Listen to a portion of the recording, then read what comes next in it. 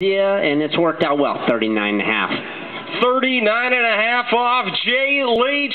Now, this is a guy that has skied this multiple times already, and he's around at number four. And, um, well, he's going to have to pull as hard as he can to get out number six. But you see,